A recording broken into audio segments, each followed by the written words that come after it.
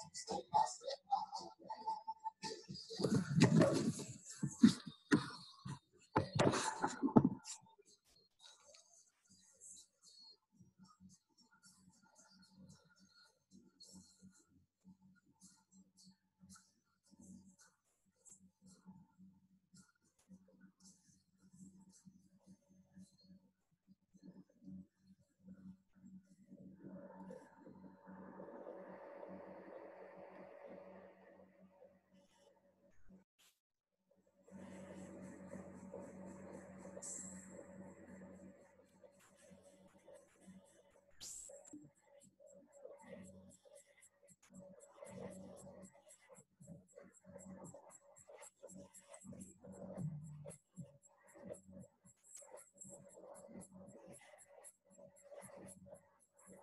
thank you, Mary Carol. I appreciate the opportunity to come speak with you all today. This is a topic that um, I'm fairly passionate about and uh, something that's been uh, really sort of a popular topic in recent years. Um, there's a lot of a lot of labels out there. Um, if you're a consumer and you go shopping at the grocery store, you've probably seen a lot of these labels out there. Everything from you know GMOs to no GMOs to organic to you know pesticides and that sort of thing that are in our foods. And so this is something that affects you as a consumer every time you go to the grocery store or make a make a food choice for you or your family. Um, so today we're going to try to focus a little bit uh, more specifically on pollinator issues related to some of these farming myths uh, surrounding pesticides and GMOs uh, more specifically. Um, this is appropriate topic uh, today because this is uh, National Pollinator Week. Um, so um, this is a great opportunity to go out and and observe pollinators this time of year. They're very busy in my garden right now. And um, if you don't have a hummingbird feeder or um, some flowers in your yard to attract those pollinators, that may be something you want to take the initiative to do and, and celebrate the uh, National Pollinator Week with us. Uh, so with that, I'll go ahead and get started. Um, our um, our garden at home, we actually uh, do a, a fairly large vegetable garden. And um, you know, a lot of people ask me, well, why do you garden? Are you worried about pesticides? Are you worried about GMOs or whatever's in your food at the grocery store? And I have to be honest with you, those are actually the least of my concerns. As a extension professional and with the knowledge and background that I had in farming and agriculture, um, I even grew up on a, on a beef cattle farm. We actually live on the farm uh, with my parents now. We built a house there. Um, you know, those are actually not my reasons for, for growing a garden. Um, and so I listed at the top of the screen some of my reasons. Um, I like the taste, you know, fresh out of the garden. Um, I kind of like the idea of uh, keeping things locally grown. Um, if I can't grow it myself, I want to try to, you know, buy from a local source or local farmers market, uh, which helps support our local economy.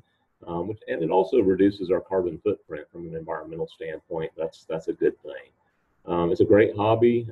it's uh, a good way to get exercise for me and my family. Um, we spent a couple hours picking the garden last night. Uh, probably picked about 100 plums and uh, a basket of green beans, uh, lots of squash and zucchini. So this is actually what my garden looks like right now. Uh, the corn's tasseling, uh, the beans, zucchini, and squash are coming in really strong right now. So uh, it's a busy time of the year in the garden, as y'all are probably aware. Um, the other advantage of, of gardening is you can have control over what goes into your food from a from a nutrition standpoint.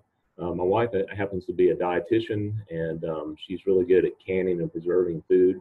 Um, so we can control the amount of salt and sugar and preservatives that actually ends up in our food. Whereas if you're buying from the grocery store, a lot of times you're stuck with whatever they put in there. Um, and those things are probably a greater health concern than you know pesticides and other things as a general rule. Um, so those are things that we like to try to control. The other big reason is uh, this little guy standing here in the corner is my, my little boy. He just turned six last month, um, and he likes to help me in the garden. And it's a great uh, a great STEM experience for him to learn about science and, and pollinators and that sort of thing. And uh, we always plant a big cover crop in our winter garden uh, with clover, and he's actually holding up uh, a bundle there of uh, crimson clover, which is a great cover crop, and it usually blooms right around St. Patrick's Day every year. Um, so it's a great way to um, actually enhance um, you know, forage for bees and other pollinators. You'd be amazed, um, even in, in March, um, that, that clover patch is just swarming with bees in our garden every year. So there's no shortage of bees and pollinators in our garden. Um, we also, you know, in a corner of our garden, we always plant some some flowers, wildflowers like cosmos on the left there, and zinnias um, in the center of your screen. Um, and those are great for bringing in pollinators. So we, we don't have any trouble, you know, bringing in bees and other things to our garden. And by the way, you know, there's more than just bees that pollinate. We got, you know, flies, we got uh, wasps and beetles and things that, that pollinate our crops as well. Um, and they're all attracted to these types of uh, wildflowers in your garden. So just, you know, a very small patch um, is all it takes to bring them in. Um, you can see the cows on our farm in the background. They get the uh, benefits of um, you know, the squash or the zucchini that grows a little too big for our garden. We get to throw it over the fence and they, they get a little snack every now and then.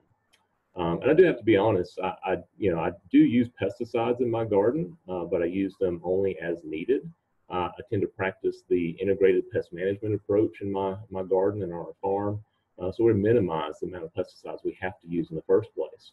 Um, and also, if we do have to use pesticides, we choose those that are, you know, possibly the most you know benign type products on um, bees and pollinators to try to minimize the impact of those products that we have to use. Um, so again, you can do that in a way that you can coexist and still have you know bees and pollinators in your garden. So um, I want to start off our discussion today looking at you know where do you get your facts? Uh, a lot of stuff we're going to talk about today is is in some ways controversial. If you've uh, watched any of the uh, you know news lately um, you know you'll see all kinds of stuff going on out there. I mean even covid-19 seems to be getting politicized and there's science and then there's there's you know misinformation out there about you know how we should approach uh, these types of issues. Um, and so i would caution you you know there's a lot of things on this screen here that are not necessarily peer reviewed or scientific uh, sources of information um, and that's where I like to, you know, be very careful and look at the source and, and look at the motivation behind that source. You know, uh, what are these people getting out of it? They're they trying to sell you a book? They're trying to sell you a movie? Um, are they trying to sell you a magazine? You know, question their motives and see if, if the information they're putting out there is really and truly valid. Um, and probably the biggest um, source of misinformation nowadays is, is the internet, as y'all all know, I'm sure. Um, and if you go into you know any search engine uh, like we have here on the screenshot, um, and just type in something like GMOs into a search engine, you know, it's genetically modified organisms.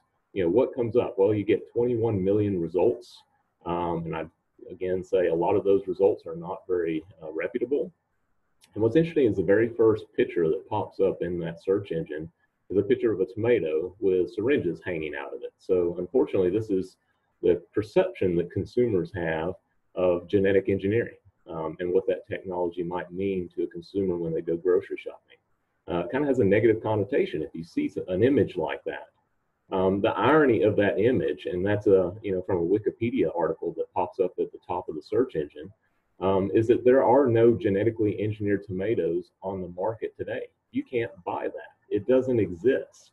Um, so you know that's the very first thing that pops up as an image and, and yet that's also the most um, uninformative uh, as far as information there. Um, there are only a few genetically engineered crops that we'll look at here in a few minutes um, that are available to the public and that you can buy at the grocery store.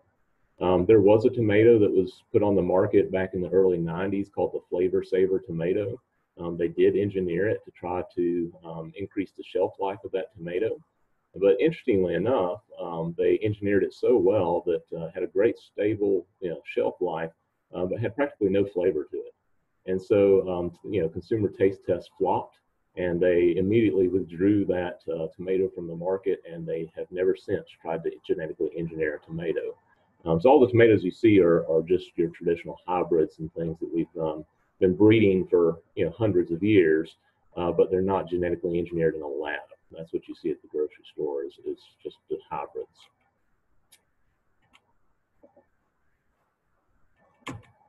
So um, here's a quick quote here that um, kind of brings home that point a little bit closer. Um, you know, Albert Einstein has famously uh, said apparently that if bees disappeared, mankind would have no more than four years left to live. Well, interestingly enough, um, he's he's attributed to that quote. If you go on the internet, you'll find it just about everywhere. Uh, but interestingly enough, he never actually said that. And it's actually not even really a true quote. Um, we could live without bees. It wouldn't be a pleasant world, um, a lot of things that we like to eat, um, you know, certain fruits and vegetables wouldn't be, be available to us, um, but we wouldn't probably starve to death necessarily. Um, so I'd caution you again, double check your facts and your sources. Um, and when you do use the internet, you know, just be very careful about, you know, what you're searching. I always like to add to my search engine, like if I was searching for GMO information, um, I would add to that search query, you know, .edu or .gov uh, to my search engine. And so that's going to narrow down those results to websites that I feel are, you know, more reputable, you know, either from government sources or, um, you know, from educational institutions and universities at nm.edu. Um, so they're going to be research-based and science-based uh, sources of information when I'm looking for information like that. Um, and again, if it's on the internet, it's probably not true. Um, just like the State Farm commercial there, there's a picture um, of that guy that comes up and um, she says, oh, I met this guy on the internet. He's a French model. And it's the guy with the glasses and the fanny pack and says, uh, Bonjourno, you know, and obviously he's not a French model, but she found him on the internet.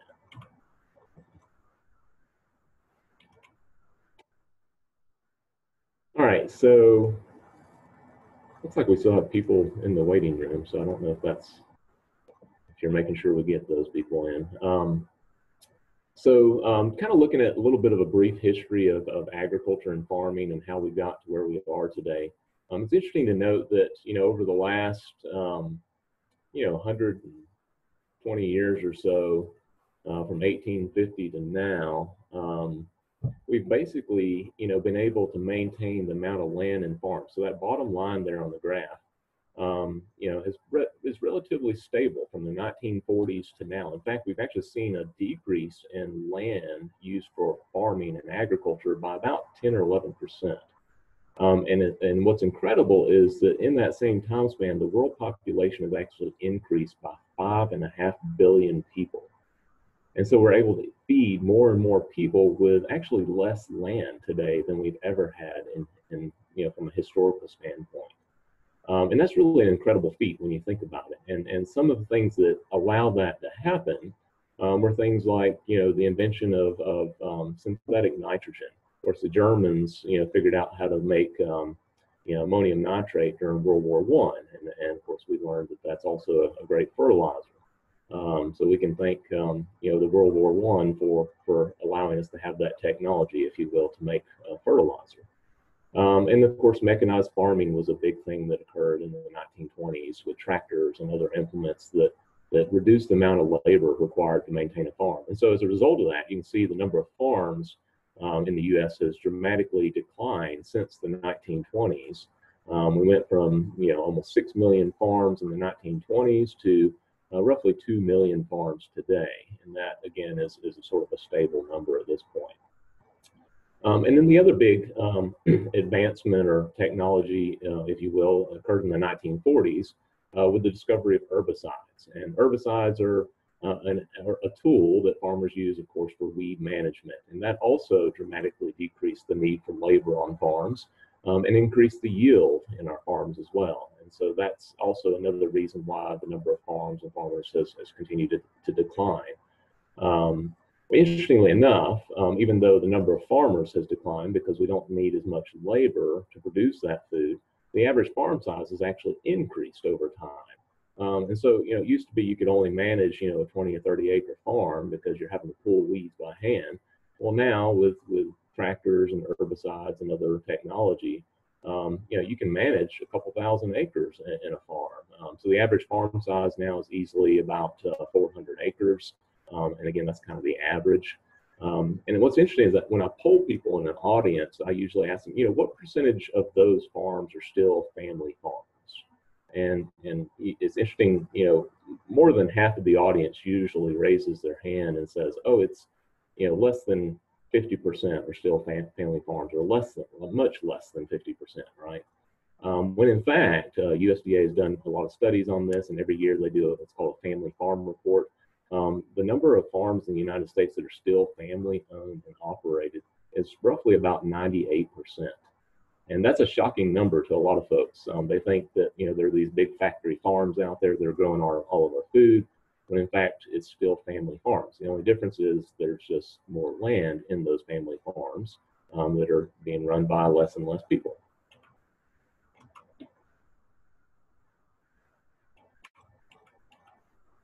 I'm skipping slides here. Here we go. All right. Um, another um, sort of result of you know being less having less land in agriculture and farming is um, our our forests have actually increased in a sense. And so in the southeast, especially, um, we actually have a lot of timber production. Um, you know, one fourth of the United States is actually in timberland now today.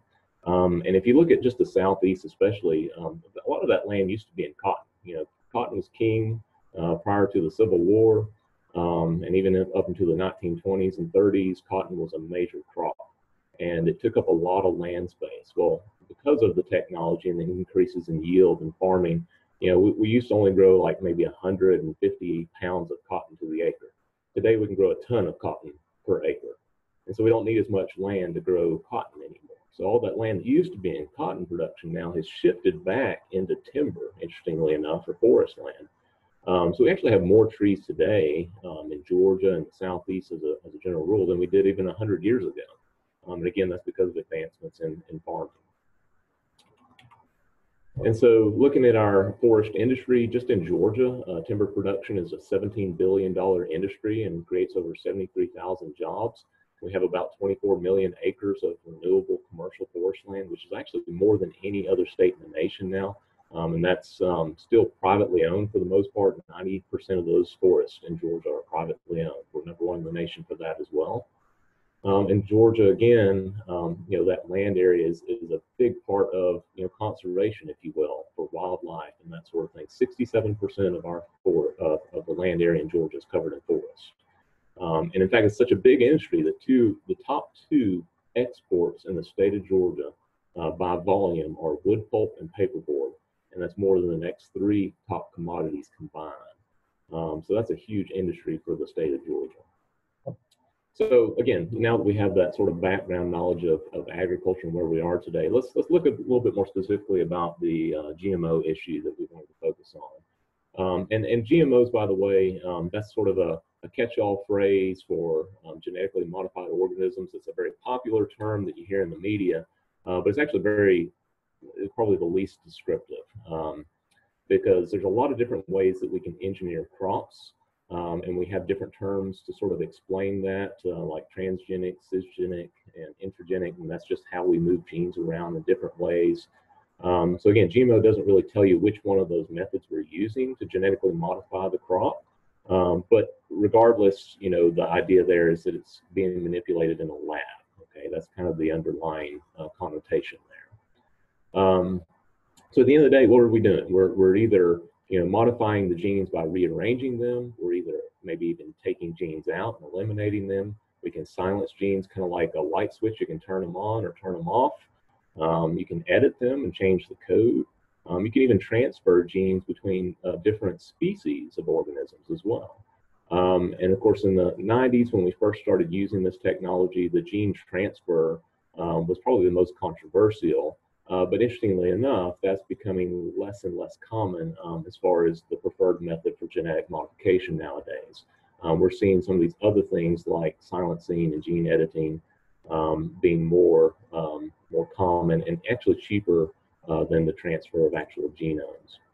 Um, so why do we do this? Well, essentially, it's it's to improve uh, a crop's uh, tolerance or resistance to certain insects and diseases um, and in some cases to uh, breed that crop to be resistant to herbicides that we can then spray for weed control without affecting the crop. Um, we can also do things that might enhance the nutrition of those, those food products. Um, and the classic example of that is a, is a crop called golden rice um, that was um, genetically modified to produce vitamin A. Um, so it has sort of that golden color in the rice, which is not natural, obviously. Uh, but um, in, in third world countries, that's really important uh, because the number one cause of um, blindness in children is a vitamin A de- deficiency. And if they're eating traditional rice that has no vitamin A in it, um, you can see how if that's their primary food staple, um, how that can create some nutrition problems. Um, so that's one example. Um, and that technology has actually been around for um, over a dozen years and is just now being embraced in, in some of those third world countries to deal with vitamin A deficiencies. Um, we can also engineer crops to increase yield and improve quality overall. Um, and so those are some of the other things that we do as well. Um, interestingly enough, um, this technology has been around for over 25 years and has a track record in the United States. Um, we're probably the leading country in the world when it comes to using this technology. Um, in fact, a lot of other first world countries like Russia and, and China really don't even have these technologies available to them. Um, and, and I will also point out that um, this is not the same thing as hybridization. You know, hybridization we've been doing for hundreds and hundreds of years, which is basically just selective breeding. You know, we're taking two plants, we're cross-pollinating them in a controlled environment and selecting the best offspring from that controlled pollination. Um, that is not genetic engineering. It, it is manipulating that crop uh, without a doubt, uh, but it's not, you know, manipulating those genes in a, in a lab in a sense. Um, so again, um, when you hear the word hybrid, don't just assume that it's genetically engineered, uh, but also realize that you know we do use hybrids as a foundation for um, creating some of these genetically engineered crops. But again, it's not the same thing. Um, what's interesting is, um, you know, there's a lot of anti-GMO sentiment out there in the news and the media, especially social media nowadays. Um, and you got to be, again, be very careful about where you get your information from. Um, and this is an article or a study that was actually done out of Iowa State University looking at uh, social media specifically um, and how other countries, such as uh, Russian state news, um, trying to influence, um, or if you will, sow the seeds of skepticism in different um, you know things that the U.S. is trying to do, whether it's you know swaying a general election or you know uh, consumer preferences on GMOs and that sort of thing. Um, and the abstract of this really is, is sort of a great take home message to make you think about this. Um, and basically, it says that it, this raises the question of whether Russian views the, the dissemination of anti GMO information as just one of the many divisive issues it can exploit as part of its information war, or if GMOs serve more expansive disruptive purposes. Distinctive patterns in Russian news provide evidence of a coordinated information campaign that could turn public opinion against genetic engineering. Well, what's the incentive for them to do that? Well, the recent branding of Russian agriculture as the ecologically clean alternative to genetically engineered foods is suggestive of an economic motive behind the information campaign against Western technologies. Um, so you can see there is a motivation for them to do that. Um, and so they're taking advantage of us. They're exploiting our freedom of speech, and it's very easy to do nowadays with the internet. Um, our freedom of speech is probably our greatest strength as a nation, and also one of our greatest weaknesses, um, which um, is is quite true uh, more and more today. It seems like. So, ironically, GMOs are not as common as you might think. Um, in fact, there are only 11 crops in the um, United States that are commercially uh, grown um, that if you go to the grocery store, you might find one of these on occasion. Um, and here's the list. It's a very short list for the most part. Um, and as you can see, what's interesting is there's a lot of food labels and products out there that are claiming to be GMO free, as if there's, you know, as if it's a better alternative to something else. And the classic example for that, I can't drink orange juice in the morning um, in the upper right hand corner there without seeing the label non GMO verified. Well, interestingly enough, there are no genetically engineered oranges on the market today. It doesn't exist. Uh, that that hasn't been released. Um, it's not being grown commercially.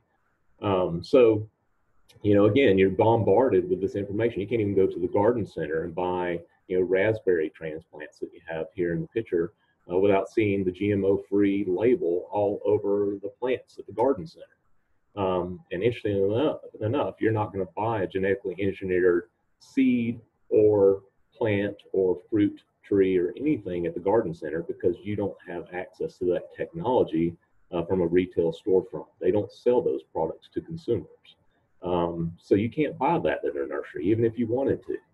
Um, yet they're marketing that and they're playing on people's fears to get you to buy their product or maybe even get a premium price for that because they're claiming it to be GMO free, which has a stigma associated with it. Um, so the crops, the, the dozen crops here that we're looking at, um, you know, soybeans and uh, were actually one of the first crops released in 1995, um, and they were genetically engineered uh, to be herbicide tolerant specifically. And uh, the main one that you hear um, as far as herbicide tolerance is, is what we call Roundup Ready crops.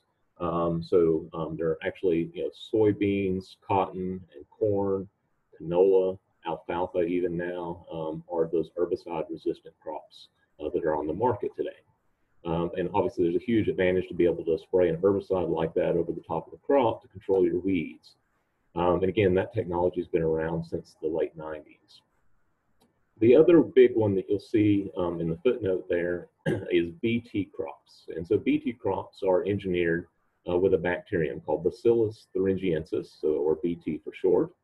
Um, and some examples of that are soybeans, cotton, corn, canola, um, I'm sorry, just the asterisks. Cotton, cotton and corn um, are the main two that are uh, BT crops. And so with those, um, you know, basically they, um, that BT or bacterium only affects caterpillars. And so, for example, corn earworm caterpillars that would feed on the corn and, and uh, affect the yield of that corn. Um, if they eat that crop, um, then the bacterium naturally um, kills that, that caterpillar. Um, and what's interesting is that bacterium is very tar target specific. It only affects um, species in the Lepidoptera family or butterflies, specifically in moths um, that are in that larval stage. And so it doesn't affect other insects uh, because it is so target specific. Um, and again, it only affects those insects that feed on that particular crop. So, you know, a monarch isn't going to feed on corn, so we don't have to worry about that necessarily. Um, so again, it's very target specific. And by the way, that same bacterium or BT is used in organic production. Um, the organic farmers will spray that bacterium in a solution um, on their crops. It's a lot more labor intensive to do it that way, uh, but they get the same results. Um, it's considered a natural or organic um, control option for those, those insects. Um, again, it's very specific. Um, so there are some other examples there of other crops that we could talk about, but those are the two technologies that we're going to talk about today um, in the presentation um, that has a lot of uh, misinformation or concerns regarding pollinators. By the way, um, the GMO topic um, has you know grown in popularity so much that um, our food our food processors are jumping on the bandwagon, if you will, when it comes to labeling these products. Um, so if you look in 2009, in the first column there, the number of GMO-free product claims on the market was less than 300 products, okay? Um, and just in, a, in a less than a 10-year time span, um, the number of products on the market that you can go to the grocery store and find uh, as GMO-free labeled are over 3,700 products. And, and, remember, there's only still 11 crops that are genetically engineered. Um, yet you're seeing this label being proliferated on just about everything. So again, it, it's just a labeling thing. It's a marketing thing, and most of the stuff at the grocery store is not genetically engineered. In fact, most of the fresh produce you buy at the grocery store is not genetically engineered. Uh, there's probably not much of an economic incentive to do that um, with those particular crops. It has to be the big crops to justify the cost of that technology. Um, just to kind of, you know, give you a, um, a, brief, brief overview, and I could do a whole presentation on just this topic. Um, but are GMOs safe? Well, there was a literature review, um, or what they call a meta-study, where they looked at over 1,700 um, scientific records on genetically engineered crop safety. Um, that was over a 10-year time span. they looked at specifically the genetically engineered crops and their interactions with the environment, and their interactions with humans and animals from a food safety standpoint. Um, and all those papers that they reviewed, um, they, they looked at it and um, they basically started categorizing the conclusions of each of those papers. And the summary of that, that's this meta study or literature review is basically that the scientific research conducted so far has not detected any significant hazards directly connected with the use of genetically engineered crops. So there's a lot of studies out there. There's a lot of research and a lot of science to back this up, and the science has been replicated many, many times over. Um, so just realize that that's that's out there. If you want that information, you can dig through that and look at these these um, these studies that have been done. So um, one of the big myths um, around you know bees and pollinators is that you know they're being affected by you know pesticides and um, and yes you know don't get me wrong pesticides definitely are um, something that can kill pollinators if they're used improperly at the wrong time. Um, timing is so important when we use these pesticides, as we have to be very careful from an agricultural standpoint, even from a backyard gardener standpoint, or you know whether you've got a lawn in your backyard when you're using pesticides, regardless of what they are, we've got to be smart about it. We've got to use them appropriately. Um, you don't spray your lawn if it's got clover blooming in it because you got bees that are feeding on that clover. Um, very simply, what you would want to do is, you know, mow the grass before you spray it. You know, if you're going to spray for weeds or whatever. Um, that way, you get rid of all the blooms before you spray your lawn. You know, it's a very simple practice, but people don't take the time or stop to think about that. You know, how's this going to affect our bees and pollinators? Uh, but I would also point out that pesticides are not necessarily the smoking gun here. Okay, and so um, this myth that pesticides are, are being used more so even now with GMO crops is just not true.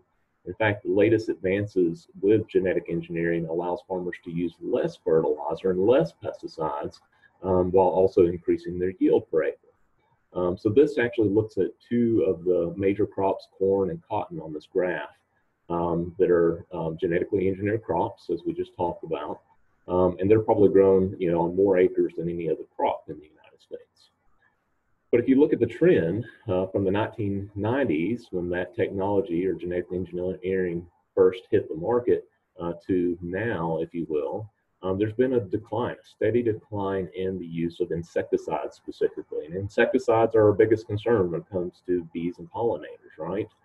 Um, and so you can see there's a dramatic drop in the number of pounds of insecticides being used per acre.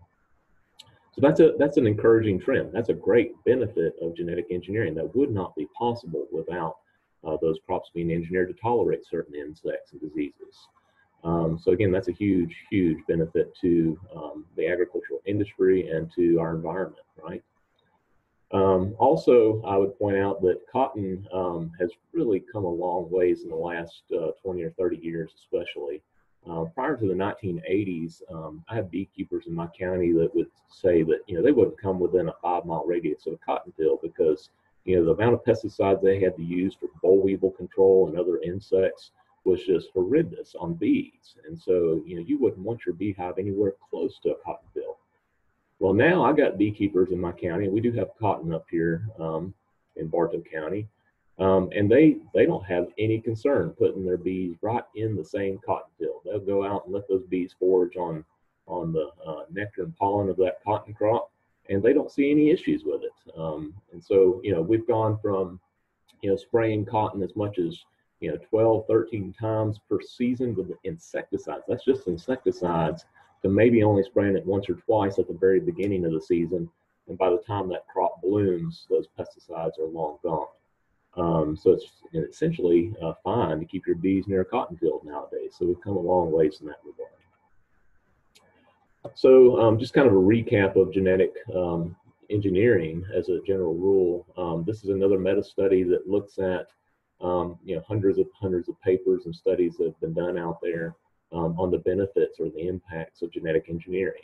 Um, and so as you can see, number one bar graph there, the first one there is you know increases in yield by over 20%. That's across the board, looking at all crops that are out there that have been genetically engineered. Uh, the amount of pesticides that are used, and this is all pesticides, including herbicides, insecticides, fungicides.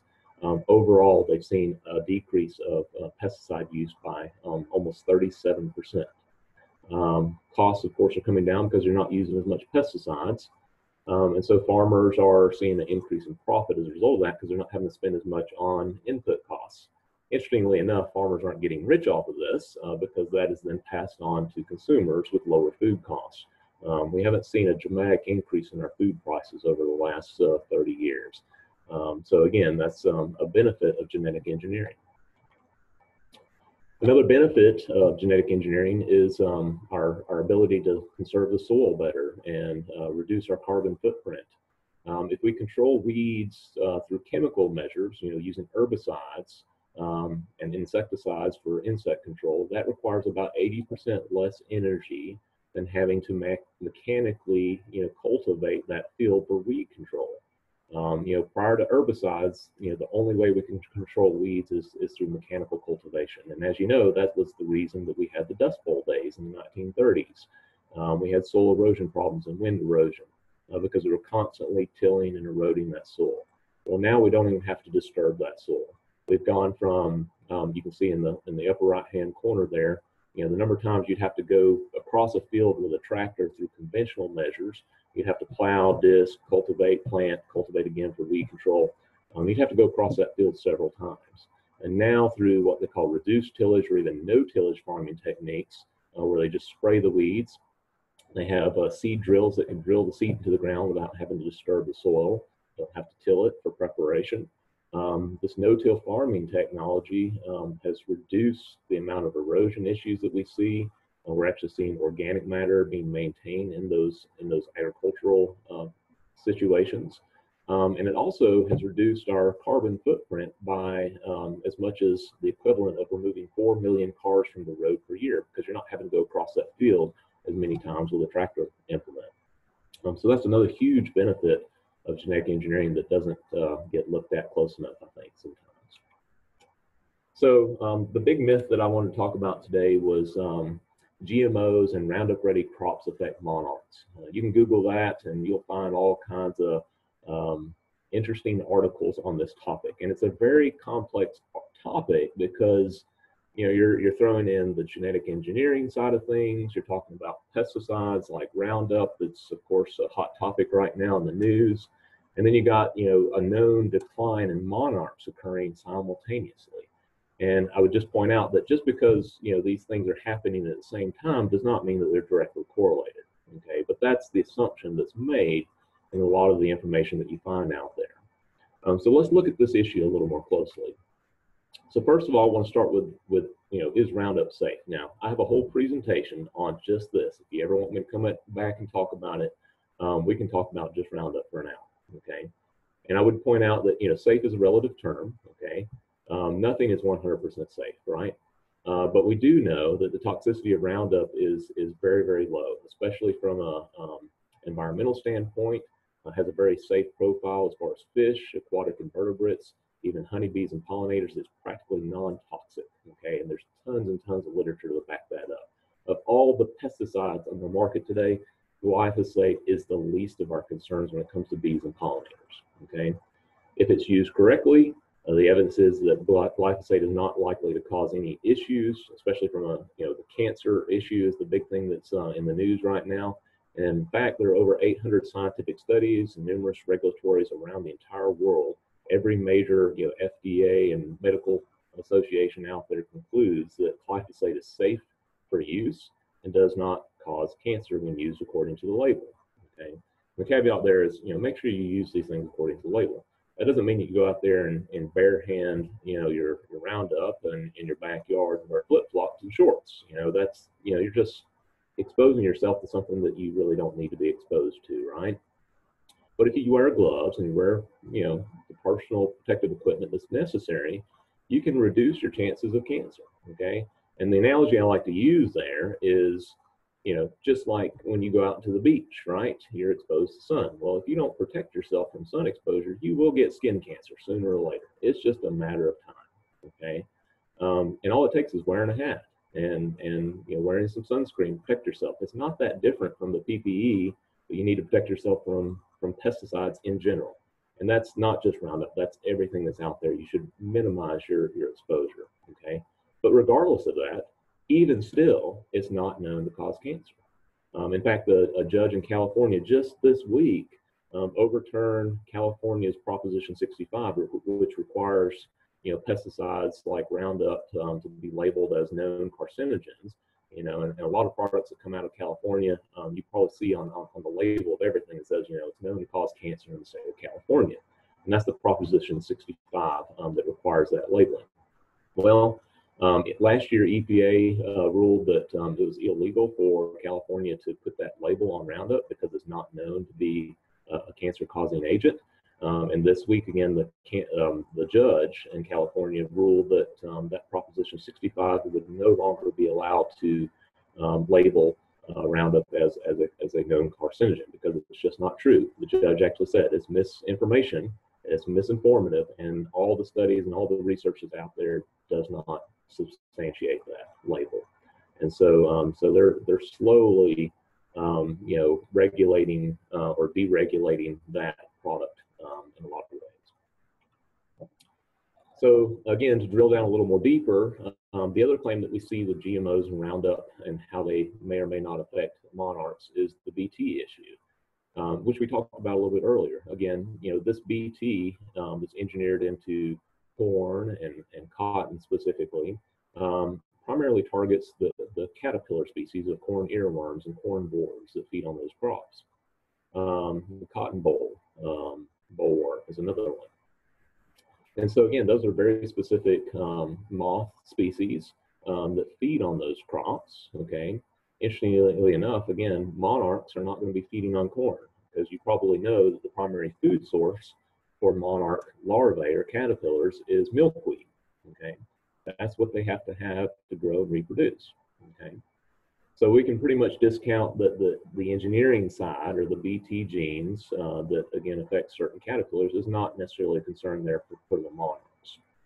Um, the other concern is that they're, you know, that Roundup or glyphosate in this case is killing all the milkweed. Okay. Well, you know, yeah, Roundup will kill milkweed. And by the way, there's about a hundred other herbicides that are used in agriculture today besides Roundup that will also kill milkweed. Oh, and by the way, um, you know, organic farmers, you know, if they have weeds on their farm, you know, they don't use herbicides. They use mechanical tillers to kill their weeds, right? Um, so they're rototilling that soil, and guess what? That kills milkweed too. So we can blame Roundup just as much as any other synthetic herbicide out there or any organic weed control method, even hand pulling weeds on an organic farm is going to kill milkweed. Okay. So we can't just blame Roundup as the problem here, okay? So what, what do we know? We know that the decline of monarch, monarch butterflies is primarily due to habitat loss. More specifically, you know, they are a migratory butterfly, and their biggest habitat loss is actually in Mexico where they overwinter um, through deforestation. Um, they're losing those forests at a, at a disturbing rate in Mexico, and that is affecting their overwintering um, survivability in Mexico. Um, also, you know, this, this loss of habitat is really a very complex issue, okay? Because, you know, we, we are losing habitat that, that benefits, you know, milkweed, milkweed species and other wildflowers, right? So we have fewer wild populations of milkweed due to urbanization. And even, you know, you could even argue agricultural expansion because obviously, you know, farmers are going to control weeds on their farm regardless of their of their agricultural system. Okay. Um, so that is a big issue. And again, you, you, know, the urbanized side is just as much to blame as the agricultural side in some ways. Um, the loss of overwintering forests in Mexico, as we just talked about. Ironically, um, reforestation in the southeast could be to blame in some cases. Um, as we talked about earlier, we have more trees now because we don't need as much land for cotton and other other row crops um, being grown in Georgia and the southeast. So all these, you know, planted plantations of pine trees, um, you know, are really not ideal habitat or suitable habitat for wildflowers and milkweed. Um, so in fact, that may actually be displacing, if you will, um, some of the milkweed and other wildflowers uh, for habitat. Um, so we've got more green space, but it's not necessarily the right kind of green space. And then to con- you know add another layer of complexity to that issue, we have a lot of invasive species, things like kudzu and privet and honeysuckle all these foreign species that are taking over our our um, our native habitat and displacing those native plants. That is a huge, huge issue that doesn't get looked at enough. Um, so habitat loss is a very complex issue. You can't just blame one person or one farmer for you know causing this this decline in, in habitat. Um, so kind of pointing the finger the other way, um, this is an interesting study that was um, that NASA using their Earth Observatory uh, mapping system. Um, they were looking at well, how much how much of the United States is covered in lawn, lawn grasses, and conservative estimate suggests that there are three times more acres of lawns in the United States than irrigated corn. If you look at this map, you can see where the clusters of lawns are in the United States. Every major city has a lot of lawn surface area. Uh, so that means that lawns, including residential home lawns, commercial lawns, golf courses, could be considered the single largest irrigated crop in North America in terms of surface area. That should be an eye opener for you. Okay, so again, everybody wants to blame the farmers. And so when we talk about the effects of habitat loss on on monarch butterflies, maybe we need to be looking at our own backyards instead of blaming farmers. Maybe we need, maybe we don't need as much lawn grass out there. Maybe we just need to take a little corner of our lawn and plant some milkweed or some some wildflowers uh, to provide some more habitat for our bees and butterflies. Um, that's something that anybody can do in their own backyard. So how can you make a difference here? Um, well, as we just said, you know, plant more pollinator attracting plants. Um, and don't worry so much about how they were grown, you know, organic or not or whatever. That that's really not a major issue in my book. Um, one of the things that we are looking at now is um, the types of plants that we put in our yard, um, especially native plants, are really important. Um, even as, even with something like milkweed, okay, there are a lot of milkweed ornamental type plants that you can buy at the garden center. Most of them, interestingly enough, are tropical milkweed species that are not really good for our migratory butterflies like monarchs because it disrupts their their natural cycle as far as migration as far as migration and so it's better to have a milkweed species that's going to bloom at the appropriate time um, and doesn't hang on too late into the fall and into the winter like a tropical species would. Um, that's going to disrupt their migratory pattern. So try to get a native milkweed species if you can. And that's just looking at one type of plant that can make a big difference. Um, obviously, we don't want to spray any pesticides on plants in our in our landscape, especially when they're in full bloom. There's just no reason to do that. Um, that's definitely going to affect those bees and pollinators if you do that. If you do have to spray a plant in your yard, regardless of the situation, you know, spray later in the evening when those bees and pollinators are less active. Those, most bees and pollinators are active early in the morning. That's the last time you, or that's the time of day you don't want to spray. Later in the evening, especially if you can use a short residual product that's only going to last a few hours. By the time it dries the next morning, um, it's going to minimize the impact on those bees and pollinators as much as possible, I'll try to you know encourage people to avoid just broadcast applications in your backyard. You know, if you got fleas and ticks in your backyard, treat the dog. Don't treat the entire backyard uh, because you're putting out more pesticides that are going to affect a lot of other things inadvertently, especially beneficial insects, um, than if you just treated the dog for those fleas and ticks in the first place. Um, and that's the source of the problem, regardless of the situation. So um, you know, think about, you know, how you can target your applications to minimize the amount of pesticides you put out there in the environment. And then, you know, when you're looking at different formulations, especially like in a vegetable garden situation, you know, dust and wettable powders are, are, are great insecticides from a safety standpoint. They, you know, it's easy to apply them uh, for us to handle and that sort of thing. Uh, but they're terrible on bees and pollinators because you know bees have very fuzzy bodies. Pollen, you know, all these butterflies and so these dusts just really stick to all the hairs on their bodies, just like pollen does, okay? Um, and so that's gonna be carried all the way back to the nest or the hive. Um, and so these, these types of formulations get carried around very readily. Whereas a liquid formulation, a spray, you know, like I said, once it dries, they're not going to be coming in contact with that as much. And so that's going to reduce their exposure and the carryover of those products. So stay away from those dust and wettable formulations, especially um, when things are in bloom in your garden. Um, there's a great publication that was put out recently by the uh, State Botanical Garden of Georgia um, that talks about monarch um, milkweed species that are um, specific to monarchs um, and those native species that perform really well here in Georgia. Um, they got the fabulous four milkweed, the whorled milkweed, class B milkweed, butterfly weed. the one here at the bottom is red ring milkweed. those are all different species of milkweed that are adapted throughout the entire state of Georgia. Um, and a couple of them that are really good for um, North Georgia specifically is the Eastern Swamp Milkweed, the Mountain Milkweed, and Four-Leaf Milkweed. Um, so again, if you want more information about this and you want to try to find these particular species of milkweed and you know add to your backyard habitat, if you will, um, check out this publication from the State Botanical Garden of Georgia. Um, if you want more information on um, you know protecting our pollinators. Um, UGA has a great publication on the uh, entomology website. The link is at the bottom there. Um, and there's another publication that was put out by Oregon State University that, that really gets into um, the science behind reducing bee poisoning from pesticides. Um, it's a really good reference. I'd encourage you to take a look at that. The last that I want to talk about today is uh, neonicotinoid pesticides. Um, this is one that's uh, also become a hot topic recently. Um, these are chemicals that um, are synthetic derivatives of nicotine, essentially. Um, so they're called neo, as in new nicotinoid uh, pesticides. Um, they're being blamed for colony collapse disorder in, in, in honeybees specifically. Um, so let's take a look at this one real quick. Um, again, you know, pesticides are part of a very complex equation when it comes to stress and honeybee health. However, individual pesticides such as neonicotinoids are probably the least likely important variable in this equation, even though they are getting a lot of media attention.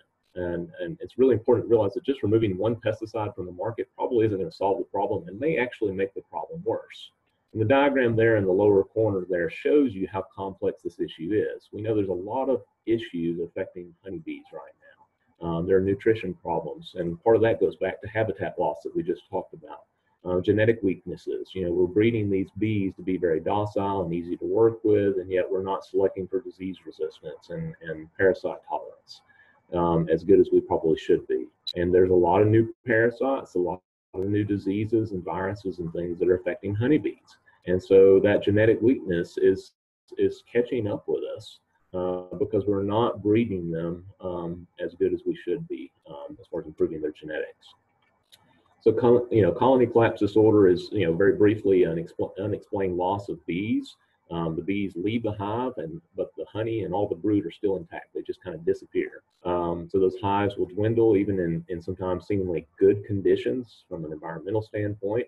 Um, and on average, we're looking at uh, higher than average um, losses. You know, every year beekeepers expect a certain percentage of their hives are going to be lost to just you know the weather or whatever, whatever stress is going on, right? Um, but we're talking greater than 20% um, is a sort of a red flag that falls into this colony collapse disorder. And it's sustained from year one year to the next. So looking at these pesticides specifically, the neonics, I'll call them for short, um, there have been restrictions put on these products in the European Union uh, because of the concern or supposed concern with these particular pesticides. But interestingly enough, um, that did not lead to any improvement in bee health. Um, in fact, the loss rate was twice as high between 2014 and 2015 once the restrictions on these pesticides were in place. Um, and that shows that colony losses are not directly correlated, correlated to the use of neonic pesticides. Also, as another sort of case study example, uh, bee populations are not declining in Australia, interestingly enough, um, despite the uh, country using uh, neonicotinoid pesticides extensively.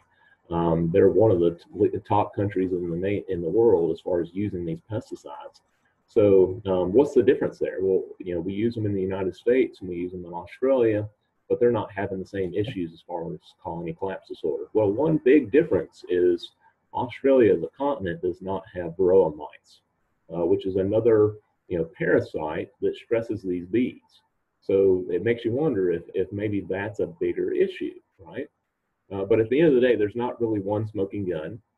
Again, it's a very complex, you know, situation.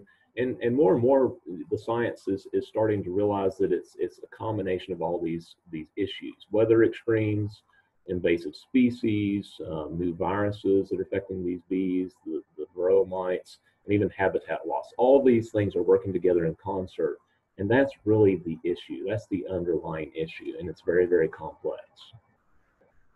So um, a lot of studies are looking at the varroa mite more and more closely. It's been in the United States now since the early 1980s. It's an invasive species. It's a mite that shouldn't be here, um, but it's it's a it's a it's a it's a bad one when it comes to bees, and, and um, even our native honeybees or native bees are um, affected by this as well. Um, so think about this mite. It's um you know it's like a tick the size of a backpack stuck to your to the back of you Okay, that's how big this thing is. And if you don't think that's stressing a bee, you you carry a backpack on your back all day long, let it suck blood out of you, and you tell me if you're not stressed at the end of the day. Okay. Um, and also to add sort of another layer of complexity to this, um, a study in 2010 looked at a fungicide, um, a very common fungicide called chlorothalonil. You'll know it under the brand name Daconil.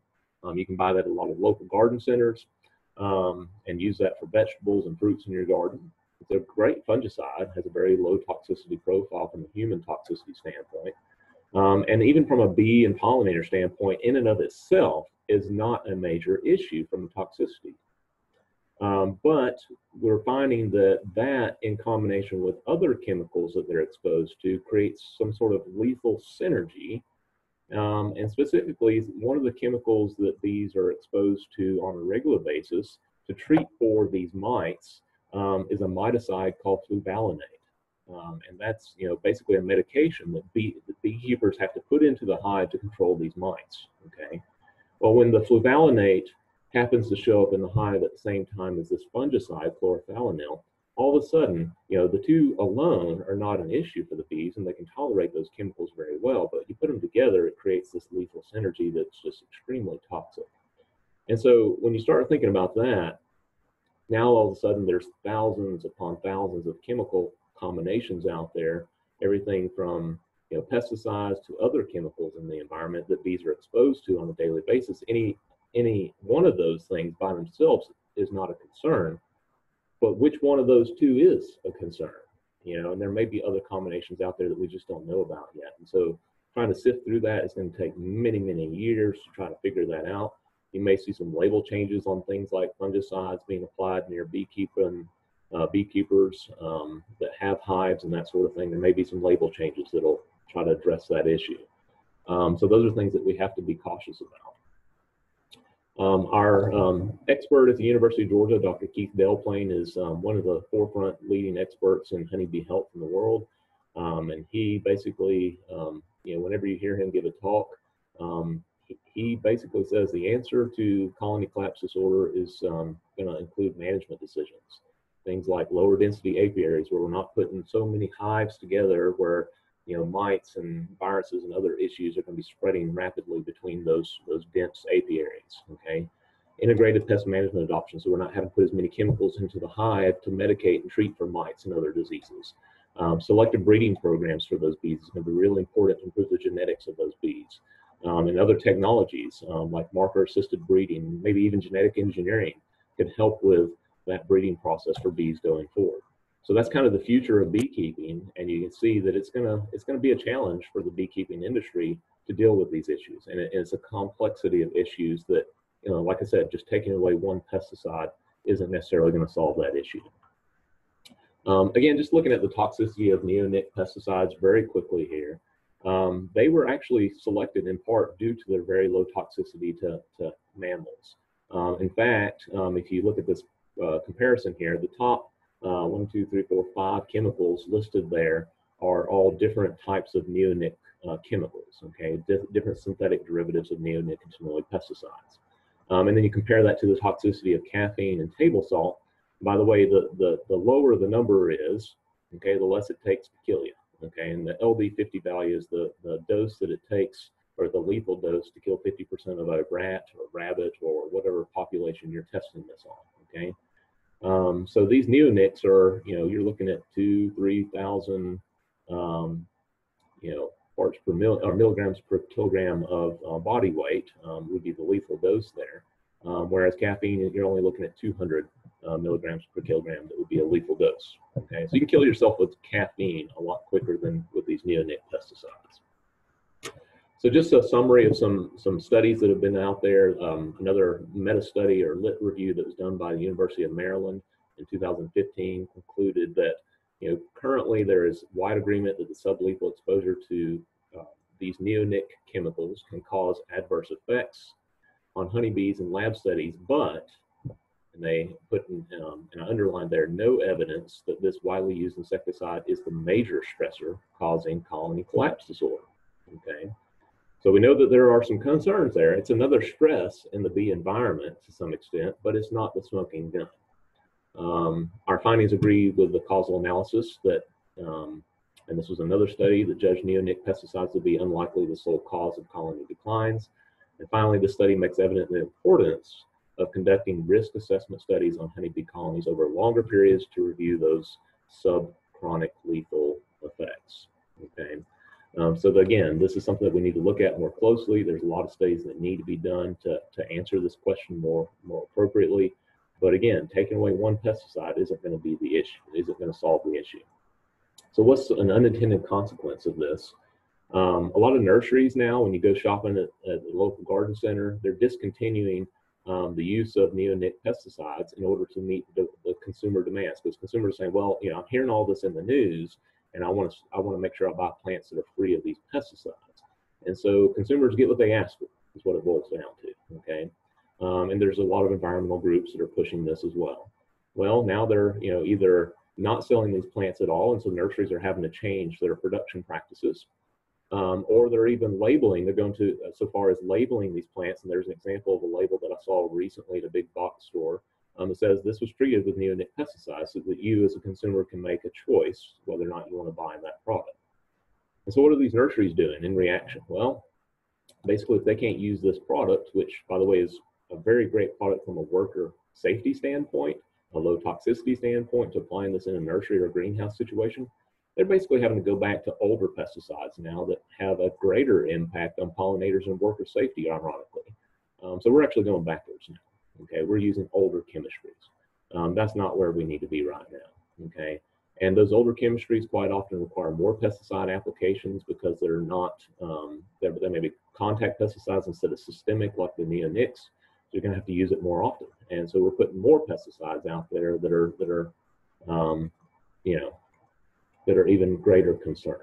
Okay. And it's going to cost more to produce them that way too. So is this really what consumers were asking for when they asked for, oh, we don't want the neonic pesticides? They didn't realize the consequences. So a couple of precautions there. You know, if you use these products in your landscape, again, they're they're good products. They're safe to use. Don't use them during bloom. Okay, very simply. Uh, be careful of drift. Um, you know, onto other plants that may be blooming. Okay, you got to be smart about how you use these products. And again, it's a liquid, so once it dries, there's very little concern there for those bees and pesticide, uh, bees and pollinators. Um, use the right rate, read the label, only apply it according to that label. And again, realize that the labels have changed the last few years. And the main label change is it, it puts in big bold print in the big box that says, do not spray when plants are in flower. Okay, that's a very simple thing that we can do to minimize contact with our bees and pollinators. Okay, so it's all about protecting our bees and pollinators and using these, these pesticides responsibly. Also, you know, there's a lot of chemicals out there that we can choose um, that are low toxicity. And so this is a publication you can pull up from the University of Georgia um, that lists a lot of the common chemicals that you might buy at the garden center. And so a lot of these products, you know, a level one risk is um, considered, you know, highly toxic to uh, bees and pollinators. Um, a level three, like this Dimilin product down here, is a low toxicity risk to bees and pollinators. Okay. Also, look at the residual on this last column. You know, a lot of these products only last a couple of hours. And so, if I had to choose one of these products, I would use something like a Dimilin if that'll get the job done for whatever insect I'm trying to control. Um, spray it in the evening, and within a couple hours after it dries, it's it's practically non-toxic to those bees and pollinators. So we can do this. We can manage these pests with the appropriate chemicals applied at the right time um, that are short residual products. So to kind of wrap it up today, um, you know, it's all about, you know, encouraging, you know, bees and pollinators since it is National Pollinator Week. Um, there's a lot of good pollinator friendly plants you can incorporate into your landscape. Um, realize that, you know, bees and pollinators need forage and they need pollen and nectar producing plants year round. And so we can get that from a variety of trees, shrubs, annuals, and perennials that we can put in our backyard. And you got to have things that bloom at different times of the year to provide that forage and that habitat for them year round. And the most important time of the year to really add to that bloom period is summer, late summer, and into the fall when there's less things blooming. Springtime, bees have plenty to you know feed uh, feed on, but um, the later times of the year is where we really need to focus on those those other plants. Um, if you're wanting to select those those trees and shrubs and, and try and figure out when they bloom and make sure that you have something blooming in your yard year round to provide that habitat, um, check out this bulletin from the University of Georgia. Um, and it has a nice glossary in the back that lists all the common um, pollinator plants for Georgia. A lot of these are native species that we recommend. It tells you the bloom times, you know, January through December when they're going to bloom. So you could try to pick different things that aren't in your yard to uh, fill the gap, if you will, um, during certain times of the year. So in summary, uh, bee decline is a real problem, uh, but unfortunately it doesn't have a simple answer. Um, so simplistic responses are not going to solve this issue, okay? And I think, uh, I hope that you understand the complexity of, of what we're dealing with now. Um, it is important also to realize that everyone can make a difference. This is something you can do in your own backyard to make a difference. You know, we can all help with expanding the habitat for bees and pollinators. Um, we need to support our local beekeepers. Um, if you have beekeepers that live near you, use your pesticides cautiously. um, and, and plant for those pollinators too. And don't spray things when they're in full bloom, as we talked about. Um, these are all simple things that anybody can do. Um, those that are beekeepers out there, um, you know, controlling varroa mites and minimizing bee stress on those colonies is going to be very, very important going forward because there's a lot of stress out there. Um, climate change is another big one that um, we just don't have any way to deal with that. And so, you know, it's just one more stress that's adding to everything else that's going on out there. Um, so we've got to be very careful about how we manage that from a from a uh, apiary standpoint. Um, and again, you know, don't just focus on planting flowers in your backyard, but you need to increase the entire habitat. You remember, it's food, water, and nesting areas that those bees and pollinators need. Um, you know, just have, simply having a, a, bird bath or a small water feature in your backyard. Yes, these bees and pollinators have to stop and drink water periodically. Um, so that needs to be part of your, your backyard landscape. Um, nesting areas can be as simple as building a bee box like you see in this picture here, um, or you know, making sure you have some areas in your landscape that are bare ground, bare soil, so you know, those ground nesting bees and wasps can have you know, places to nest in the ground because um, they won't nest if you got a thick lawn or you got mulch covering every square inch of your yard. They're not gonna they're not gonna nest in those areas. And most of our native bees are ground nesting bees, and so we've got to have again places for them to be able to nest and, and survive.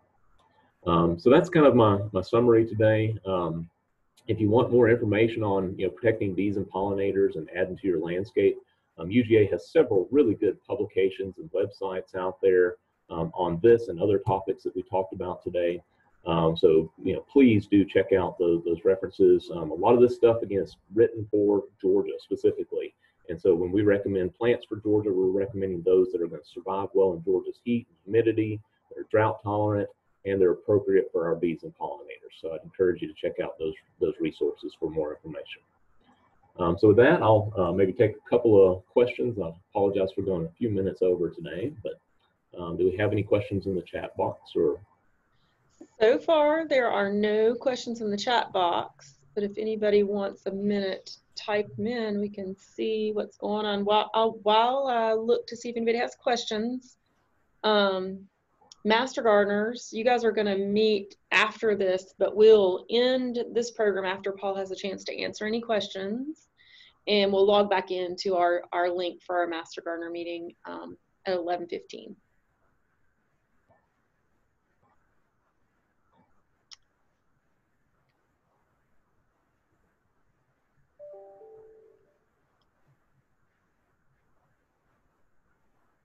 So I don't see any questions, but I'm willing. Oh, there's one. Okay.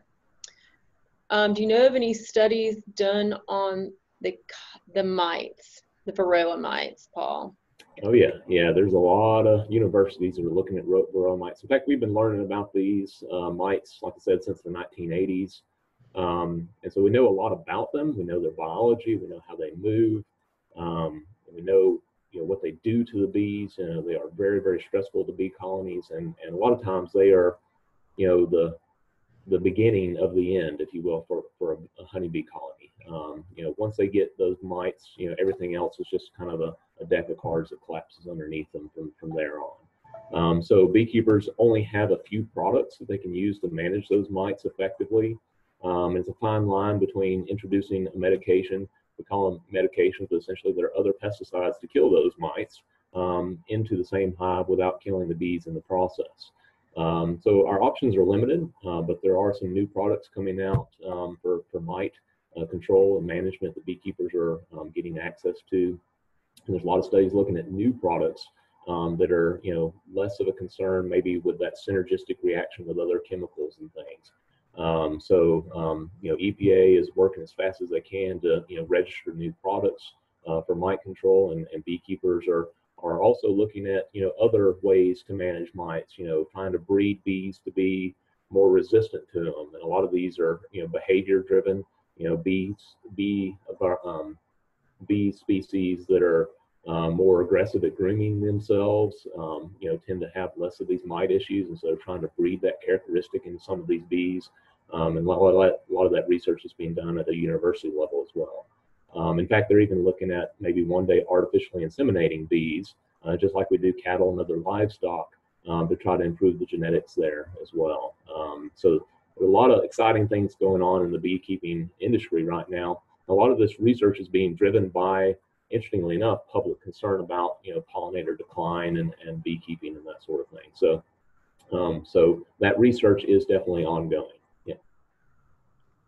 Thank you, Paul, for um, uh, talking about that. I, I like that you mentioned um, the treating bees like livestock because I think that's really typically how they're classified in, in agriculture because they're they're not really a native. Honeybees are not native.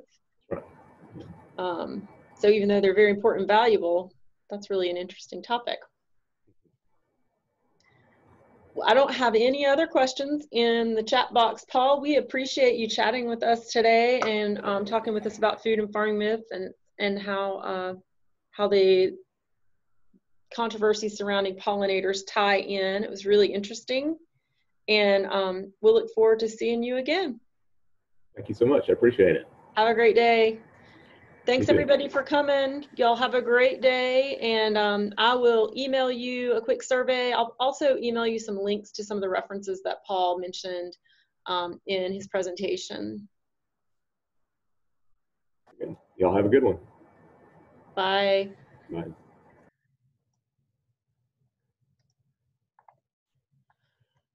Master Gardeners, if you are not logged out yet, go ahead and log out and grab your other link. I'm going to take a quick five minute break, but we'll try to get back on at about 11:15.